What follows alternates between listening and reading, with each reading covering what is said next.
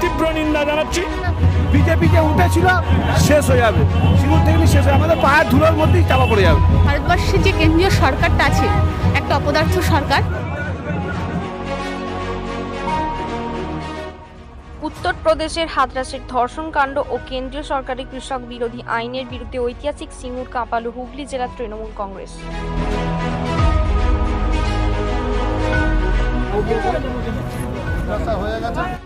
হ্যাঁ যে সিঙ্গুর থেকে লড়াই করে ক্ষমতা এসেছে তৃণমূল কংগ্রেস, আবারও সেই সিঙ্গুরের রাজপথ থেকে রবিবার হাতরাস ধর্ষণকাণ্ড এবং কেন্দ্রীয় সরকারের কৃষি আইনের বিরুদ্ধে ঐতিহাসিক পদযাত্রা ও মশাল মিছিলে হাজার হাজার মানুষ হাঁটেন এদিন প্রায় চার কিলোমিটার পথ অতিক্রম করে এগিয়ে যায় বিশাল জনসমুদ্র।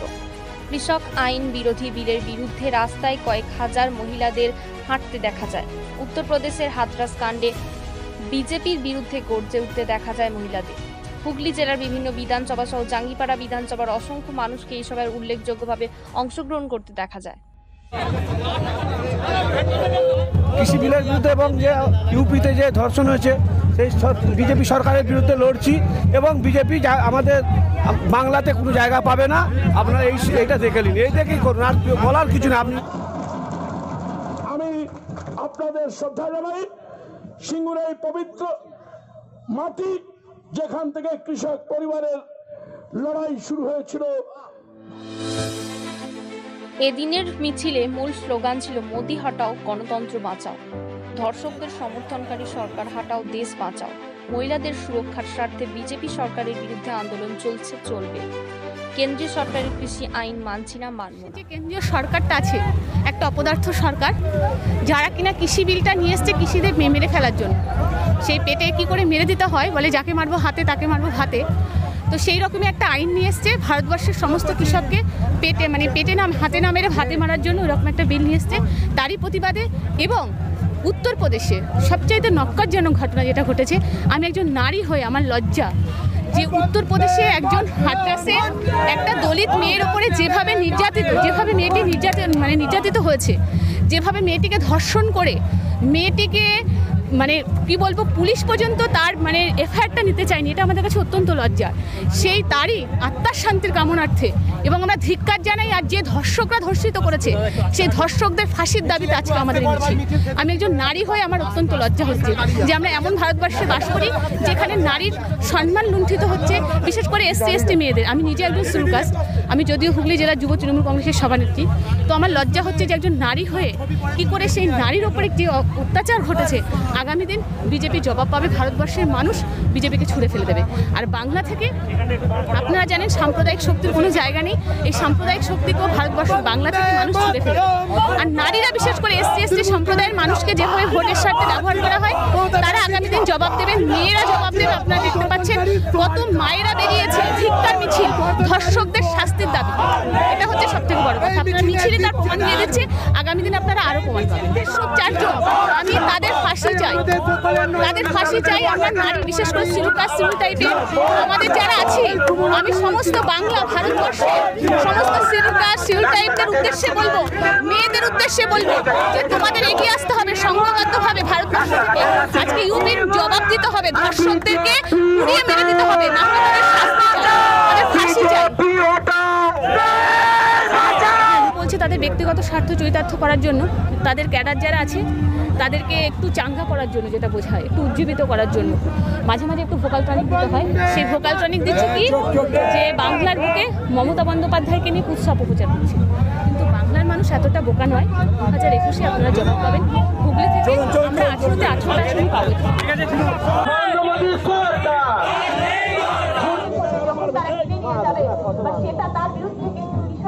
কেন্দ্রের বিজেপি সরকার কৃষকদের অধিকার কেড়ে নিয়ে আগামী দিন কৃষকদের পরাধীন করে দেওয়ার জন্যে যে বিল নিয়ে এসছে, ওই বিলের বিরুদ্ধে সিঙ্গুর কৃষক আন্দোলনের পীঠস্থান।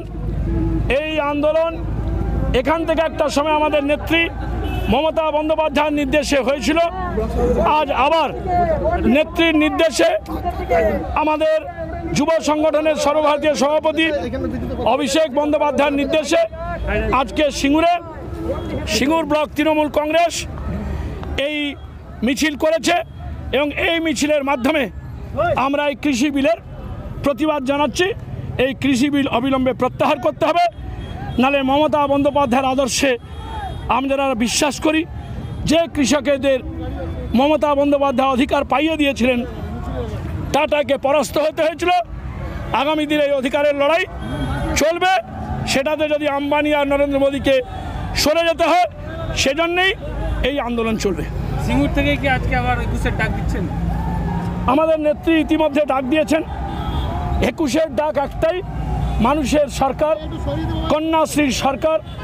যুবশ্রীর সরকার, শিশু সাথীর সরকার, বিনা পয়সা রেশনের সরকার, বিভিন্ন প্রকল্পের সরকার, যে সরকার মানুষের বিনা পয়সা চিকিৎসা দেয়, বিনা পয়সা শিক্ষা দেয়, যেই সেই সরকার, যে সরকারের তিনটে প্রকল্প, সবুজ সাথী উৎকর্ষ বাংলা, কন্যাশ্রী সারা পৃথিবীতে সমাদৃত হয়, সেই সরকার দু হাজার একুশে আসবে।